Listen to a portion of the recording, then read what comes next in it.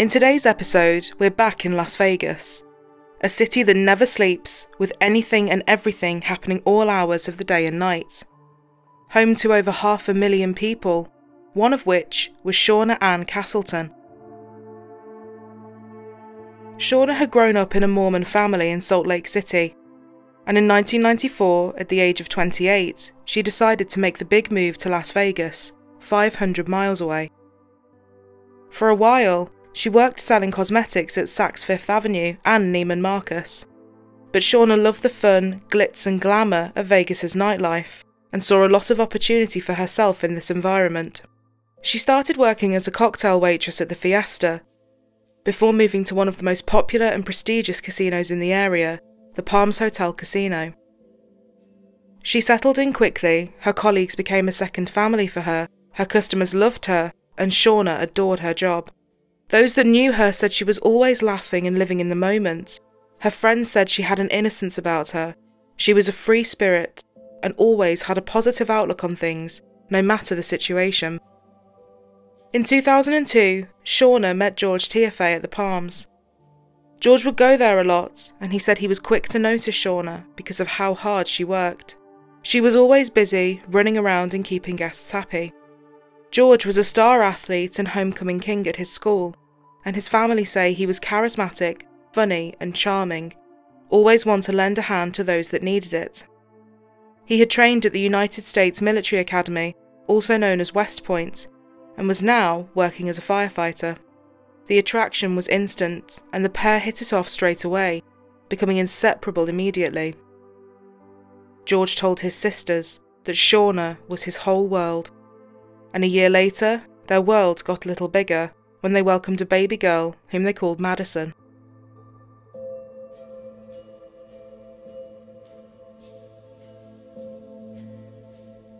Friends said George was very protective of his new family, and Shauna was besotted with her little girl. A couple of years later, George and Shauna married in a beautiful beach wedding in Hawaii.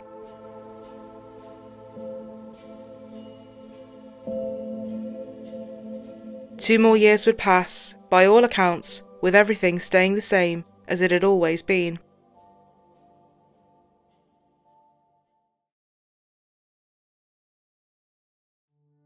That was until George suffered a huge setback with his finances. He lost a lot of money in the housing market crash, making Shauna the main earner for the family, and the financial stress began to impact the couple. Shauna eventually confided in people that George had become quite jealous and resentful, and it wasn't long before his behaviour escalated and became more controlling. On one occasion, George said she looked like a slut on her way to work one day, made all the worse, she said, because her little girl had heard it. She told friends things got even more strange when he befriended a homeless man, getting him to do odd jobs around the house and garden. Shauna said she found the man creepy and whenever he was around, it really unsettled her. Tensions continued to mount in the relationship, and with so much financial strain, coupled with George's sudden and spiteful change in personality, Shauna moved out and into her own townhouse apartment in Summerlin. The pair started sharing custody of Maddie as well as seeing a marriage counsellor. Shauna was devastated at the breakdown of the relationship, and although she was hopeful they might one day make things work, she also knew divorce was a strong possibility. She would send George a text that read, Once we live separate, I don't think there's any going back. George was also upset and told people that the complications divorce would bring wasn't something he wanted to go through. After living apart for a while, Shauna was beginning to find a new routine. She was still working long hours and was always busy, but the love she had for her job meant she didn't mind. After one late shift, Shauna returned home to find her apartment had been broken into, and everything was a mess. Several precious and sentimental valuables, including her engagement ring, had been stolen. One item that had been taken that struck everyone as odd were her bikini bottoms. Whoever had broken in had also left some boxer briefs inside. Shauna was frightened and on edge, but did her best to put the incident behind her.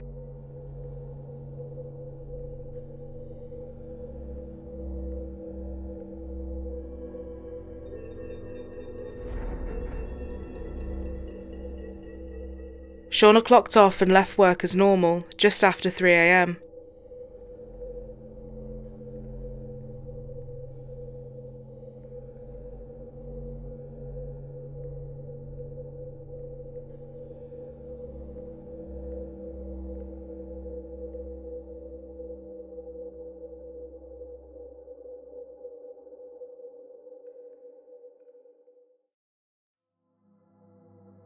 She lived about a 30 minute drive away from her apartment and arrived home at around 3:30 a.m. She parked up outside and went inside via the door in her garage.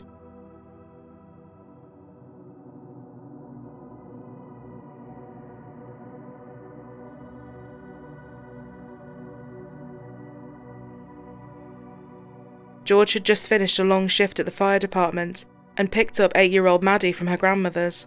They both drove over to Shauna's to collect some of Maddie's belongings. They entered Shauna's home to find that it had been totally ransacked. Shauna Tiaffay was lying dead on the floor. 911 emergency. Police, I, I, I think I need to report a, a break-in and a murder. I, I, my wife, my wife is uh, on the floor, bloody, stiff, not moving. I have my daughter with me. I I want to take her to my Okay. mom's mom's house. Well, stay, stay right there a minute, okay? Okay. Um, do you know what the address is? And you don't live there, correct? no, my my wife and I uh, live in separate places. Okay. When's the last time you saw her? Uh, right, you you're Uh. good. Take a deep breath. I I'm a fireman. I was at work yesterday, so I saw her about 36 hours ago, I guess. I'm, Okay, I'm not sure. ago? Okay. A, a day and a half ago, I'm thinking something like that. Okay. How old's your daughter? She's eight. And she's with you, or where's she at? She, she's right here with me. Okay. What's your name, sir? My name is George Tiaffay. Okay. Do you see anything suspicious around her? Any weapons? Any knives, guns? Uh, no, I, I had to get my daughter out of there. We came over and the garage door was open and it's never open. And so we, we went in to grab some stuff for my daughter. My my, my wife sleeps during the day because she works at night, right. and uh, she was in the on on the floor when we walked in the. Where are you at right now? I'm I'm at the garage right now. Okay. We do have an officer on the way, so just stay right outside, and we'll get somebody out there for you. Okay? Oh God, I, I I didn't touch the body to check for a pulse. That's okay. We'll have medical on the way as well. Okay? Okay, Thanks. thank you. It was clear from the position of the blood and Shauna's body that she had been attacked as she had gone upstairs. The injuries to her body indicated the murder weapon was likely a hammer, and she had suffered horrendously in her last moments. Her skull was crushed, and her fingers were broken from trying to protect herself. There was a hole in the side of her head that was so deep, at first, paramedics believed she had been shot. A neighbour reported to the police that they had heard a thudding sound coming from the apartment between 3:30 and 4 a.m., but as she normally arrived home at this time, it didn't seem out of the ordinary. A little while later, another neighbour contacted police after finding Shauna's phone, health card, and some of her makeup along the side of a road nearby. As is common with most cases, her estranged husband George would be the first to be interviewed. George was at the fire station the day before and had worked a 24 hour shift. After confirming this with his colleagues, detectives were happy with his alibi, but this left police baffled and confused as to where to start looking. They didn't know if the burglary three weeks earlier was linked, or was a scary coincidence. But, as Shauna's belongings were found outside of her home, it was entirely possible that the same person had come back to take more things, and, not realizing Shauna would be up and awake, killed her and fled the scene. They also didn't know if Shauna was a completely random target, or if she was targeted for a specific reason. This left Shauna's casino colleagues fearful too. With all of them working similar shift patterns, could one of them be next, they wondered. But Shauna's sister Paula and her husband, however, believed there was a lot more to this than a random robbery gone wrong. Despite George's alibi, they still wanted to ask him some questions. Paula decided to give George a call and find out what was going on.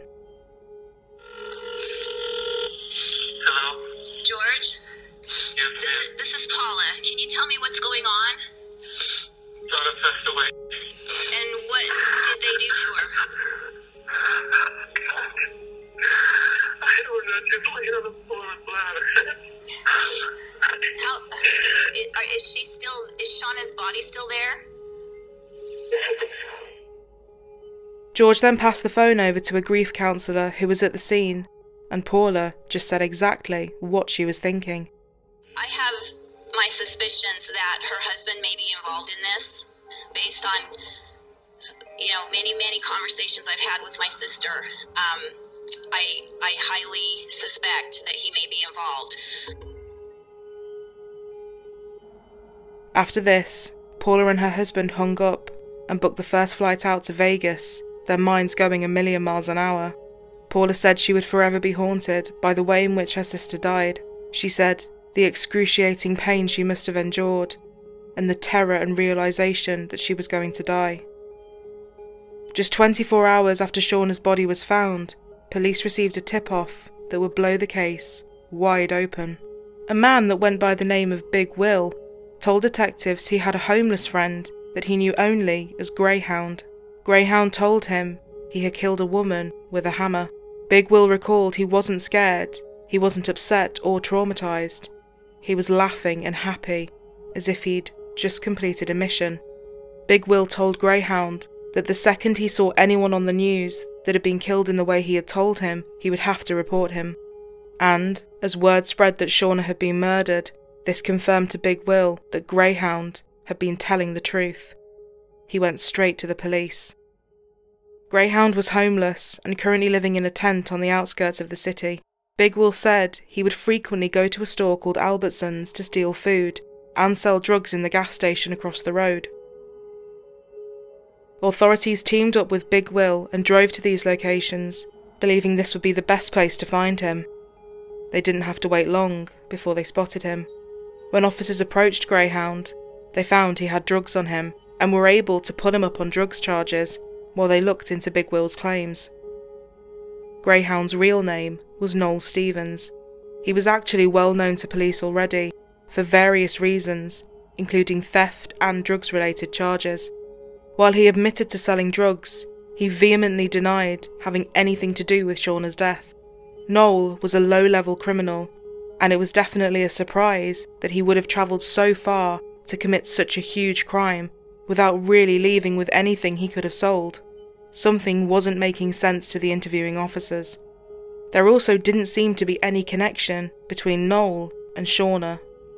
Police managed to find out where he was sleeping and, when he was in custody, began searching the area near his tent. The area was remote and very secluded, way up into the desert, away from everyone and everything. Officers worried that because the area was so vast, they could be searching for any potential evidence for weeks. But Noel had not dumped anything far away, and, just a short walk away from his tent, they found a pair of his trousers, covered in blood, a price tag belonging to a hammer, and a bloody pair of underwear. Back at the station, detectives were checking through his phone, and they soon found a single contact that seemed to tie everything together for them. George. When asked who George was, Noel said, That's my friend, the firefighter. Noel Stevens was the man George Tiaffay had befriended, the same man Shauna had been wary about since the moment she met him. Police used the barcode for the hammer to find out where sold that particular make, and from this, they got hold of some CCTV that left them shocked.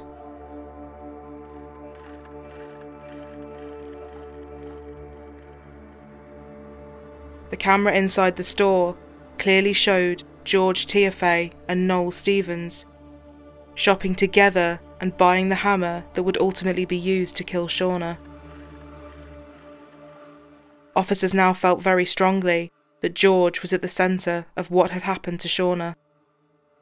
Back at the station, officers presented Noel with all the evidence.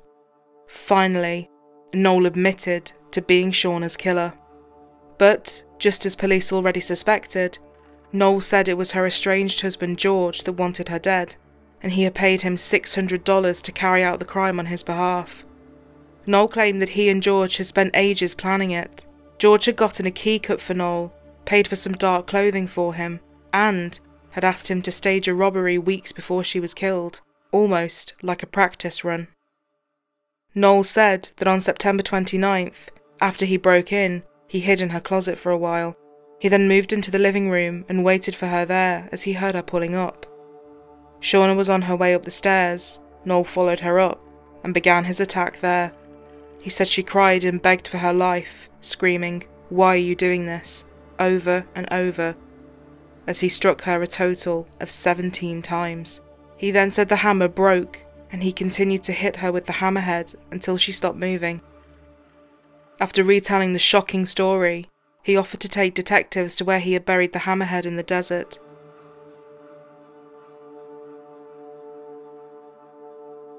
And finally, they had the murder weapon. It had now been nine days since Shauna was discovered that early September morning, and on October 8th, detectives informed George's mother and sister that he was now being investigated in relation to her death. They were horrified and adamant that he had nothing to do with it. A matter of minutes later, George's sister called her brother and told him. George jumped straight into his truck and set off on a fast and dangerous drive around Vegas. This would end in George going head on into a concrete wall at the end of Summerlin Parkway and the Las Vegas Beltway. He was going more than 80 miles per hour Authorities noted that there were no marks on the road, showing he hadn't tried to brake and stop the car, and this was an intentional crash and an attempt to take his own life. George survived thanks only to his seatbelt and was treated for his injuries at University Medical Center. Two days later, officers arrived at George's hospital bed and informed him he was now under arrest. George's reply was simply, okay. He then asked if he could call his attorney, take a shower, and brush his teeth. Authorities felt they had a strong case and enough to bring charges forward against both men. Just three months later, Noel Stevens would plead guilty in exchange for the death penalty being taken off the table, and said he would also testify for the prosecution as their star witness. He was sentenced to 42 years to life in prison. In August 2015, George, who was still pleading not guilty, entered the courtroom ready to begin his trial. Hides in that bathroom area. He comes out of that bathroom area when Shauna walks in the residence and he hits her over the head with the hammer several times. And he does break the hammer. Opening statements began Tuesday in the trial of George Tiaffay, a former Las Vegas firefighter accused of hiring a homeless man to kill his wife, Shauna Tiaffay, who was beaten to death with a hammer after returning home from work at the Palms in September of 2012. During the first day of testimony, the prosecution played the recording of the 911 call from Tiaffay. 911 emergency status. I need police, fire, medical. Uh, police, I, I, I think I need to report a, a break-in and a murder. Shauna's family were there for every single day, wearing her favourite colour, pink. Her family gave lead prosecutor Mark DiGiacomo Shauna's lucky poker chip, which he kept with him as a good luck charm. George would never take the stand himself, but an array of witnesses, including his sisters and close friends, would testify about the man they said they really knew a man they said was kind, compassionate, and hard-working, and would have no part in such a heinous crime. The prosecution felt their case was exceptionally strong. Alongside the CCTV and everything Noel had told them, they also had numerous phone records that showed that George had called Noel 87 times in the month of September 2012 and 5 times the night before the murder, an unbelievable amount of times for someone that just occasionally did the odd job here and there. The defence would argue, however, that the CCTV proved nothing. They were simply buying tools so Noel could continue to do work around the house. The star witness Noel took to the stand and told the court the same story, in all its detail, that he had told the police several years prior. How did you meet George? I was sitting one day in, out in the front yard, smoking a cigarette and drinking, and uh, he was walking his dog, and that's how I met him. Um, when you first met him, describe what kind of communication you would have with him. What kind of relationship, for lack of a better word, did you have with him? Uh, I told him that uh, I do yards and stuff like that. And did he give you any work? Yes. Can you give the ladies and gentlemen of the jury how any idea how long you've known George? A few years. Years? Yeah. Describe your relationship with George at this point. What do you mean? Well, are are you just doing work for him, or is there We're something? friends. What kind of things have you done together? We've worked out, stuff like that. When you go over there, what's his relationship with Sh- Shauna like? Hmm. Good, bad, what? Uh, bad. Okay, what do you? Arguing, wh- What are they arguing about? all kinds of stuff. Like what? Money. Did George ever tell you about any specific complaints he had about Shauna? Yeah, she spent too much money. Does there come a point in time where you have to, or, or you are asked to do something at that second house related to the divorce? Yeah, killed Shauna. And when George first says to you something about killing Shauna, uh, did you believe him? No. Describe for us the best you can what it is, uh, the nature of the conversation. What happens? He uh, offers me a thousand dollars. I I tell him, nah, You tell him no? yes, Why do you tell him no? because I don't really believe him. I, I think he's Think he's what? Blowing hot smoke, man. You think he's just blowing off some steam? Yeah, Is there some thing that changes at some point?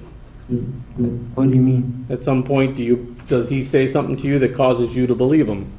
Yeah, Okay. raise the price Well, what did he raise the price up to? five grand. Uh, was he going to hand you five thousand dollars as soon as it was done, or was there some plan on how to pay you? Uh, he was gonna pay me uh when it, when he got the money for uh for insurance. He said alongside the $600 cash from George, he also made some more money off of Shauna's engagement ring, which he stole and then pawned. Noel also claimed that he was actually promised tens of thousands by George after the murder was carried out, and detectives believe Noel called George from the gas station phone the day after, which was possibly to arrange for the rest of the payment. This meeting, however, would never happen, because that's the day the detectives made contact with Noel and he was taken in. Noel also testified that George had told him to use a fiberglass hammer because a wooden hammer might break during the attack. He said he took both hammers to the house, but ended up using the wooden one, which did in fact break. You do as she comes through the garage. I wait until she walks by the door. When when she walks by the door, then I come out. And what are you holding when she, when you when she comes out? A hammer. Okay. Now the hammer that you're using, uh, why that hammer? Because I didn't want to go and buy another one. Okay. Uh, let me ask you this: that hammer, do you, where did you get that hammer from? uh, Lowe's. Okay. And but that day, I mean, where was it between the time you bought it at Lowe's until the time you used it to kill Shauna? At my first camp. And why didn't you use that hammer? You bought it before you bought some of the other hammers. Why not keep that hammer and use it every time you tried? Because it's wood. And what was the problem with wood? It'll break. Who told you that? George. Okay. So now you have the wood hammer in your hand because you were cheap. What happens? I hit her in the head. Um, uh, I know that you probably don't want to do this, but you're going to have to describe for the ladies and gentlemen of the jury what happens when you come out that door and you're holding that hammer. She had, she she tells me why I'm doing this. She says, Why are you doing this? Yes. Now, are you covered up in such a way that she shouldn't know who you are? Yeah, I have a mask on. Do you say anything to her? No. What do you do? I hit her in the head. When you hit her in the head, what happens? She hits the floor. And after she hits the floor, what do you do? I jump on top of her. And if you jump on top of her, what do you do? I keep on hitting her. With the hammer? Yes, What happens to the hammer while this is happening? it breaks. So after the hammer breaks, what do you do? I throw the piece of wood away and grab the metal piece and keep on hitting. Although the prosecution argued that everything Noel had said could be backed up by CCTV, phone records, and the time frame of events, while he was being cross examined, Noel admitted to often having auditory and visual hallucinations. In the defence's eyes, this gave them enough reason to put forward the idea that Noel could have simply made the whole thing up. They weren't disputing that he killed Shauna, but the idea that George was involved was a lie. Robert Langford, George's attorney, said it was a good story, but nothing more than that. If you put it all together just the right way, that's what you get. But there's a lot of reason not to put it together that way, he said.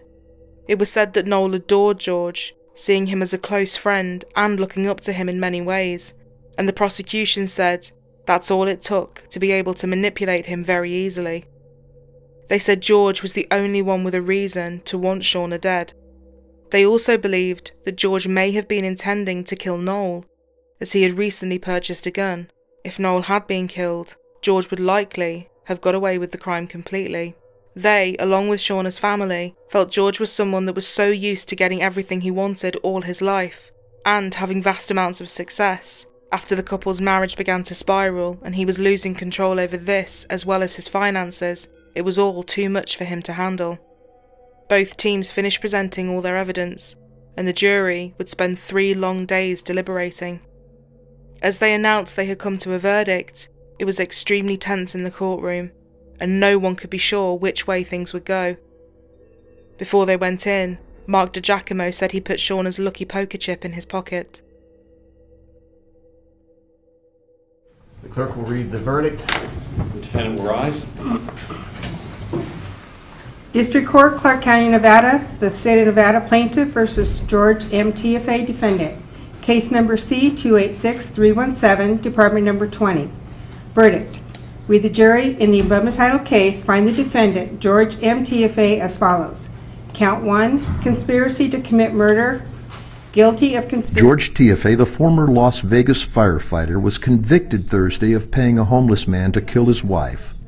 After five days of testimony and about three hours of closing arguments, a jury of seven men and five women took 15 hours to find George Tiaffay guilty of first degree murder and six other counts. Ladies and gentlemen of the jury, are these your verdicts as read? So say you one, so say you all. And we begin with that breaking news. Former Las Vegas firefighter George Tiaffay, accused of hiring a homeless man to kill his wife, stands guilty on all counts. Action News anchor. He showed no emotion as the verdict was read out. The jury then had to decide whether or not he should receive any parole eligibility. Local firefighter George Tiaffay will now spend the rest of his life behind bars. After just four hours of deliberation, the jury decided to sentence Tiaffay to life without the possibility of parole. Action News reporter Marissa Keniston was in court today. She joins us live with more right now. Marissa. Well, the jury had three decisions life without the possibility of parole, 20 years to life, and 20 to 50 years. Take a listen as they read their decision. Having found the defendant, George M. Tiaffay, guilty of count seven, first degree murder with use of a deadly weapon, impose a sentence of life without the possibility of parole. He was also given an additional 81 years for convictions of conspiracy, burglary, and robbery. The judge said in part, My sentence today is not based upon holding you to a higher standard. My sentence is based upon the fact that this was just pure evil. Shauna's sister Paula was happy with the result, saying, George is a controlling manipulator, and I think the worst hell for him would be standing in prison for the rest of his life and not being able to control anything. We just want to thank the Clark County DA's office, Mark DiGiacomo and Pam Weckerly, and everybody involved, homicide detectives. Um, it was almost three years ago that Shauna was brutally murdered, and we're so happy that justice was served. We started this fight for her, and this is, we've got so many supporters here in Las Vegas. So many people love Shauna. And we're just happy that we can finally put this past us and move forward and find whatever our normal is, you know, without Shauna in our lives. But we just, we're just so happy and satisfied that the jurors saw the truth. George decided he wanted to appeal the verdict. His 107 page appeal included handwritten notes from George himself. He wrote about himself in the third person, saying in part, the prescriptions altered his mind and removed his ability to know right from wrong to the point that he thought God directed him to perpetrate a crime to protect his child. It appeared that for the first time he was now admitting to orchestrating the crime, but said it was because he was under the effects of prescription medication. An online fundraiser was set up to try and garner money to fund George's appeal.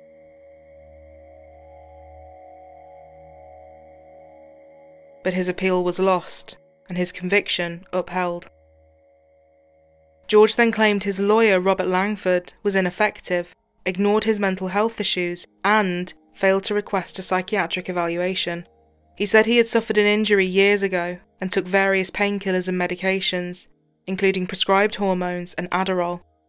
Robert Langford said, he never indicated any kind of psychosis or any kind of abnormal behaviour that led me to believe he was anything other than competent and able to assist in his defence. He has since withdrawn from the case.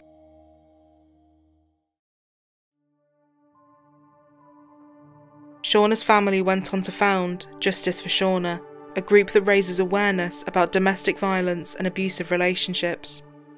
Her family would also later move her grave from Las Vegas back to her home state of Utah so she could be next to her father. Maddie is now living with Shauna's mother and spends a lot of time with her Aunt Paula. Paula says whenever she talks about her mother, she smiles a lot, and it's clear that their relationship was always full of laughter and fun. Paula said the loss of her sister profoundly affected so many people, but the biggest tragedy is how her daughter will grow up without a mom that was so devoted to her. The judge that sentenced George said, Why you, of all people, would do something that you know would be so cruel to so many people beyond just Shauna. It said that Shauna's biggest and purest joy in life was being a mother, and Paula would say, I have no doubt she was thinking of sweet little Madison as she took her last breath.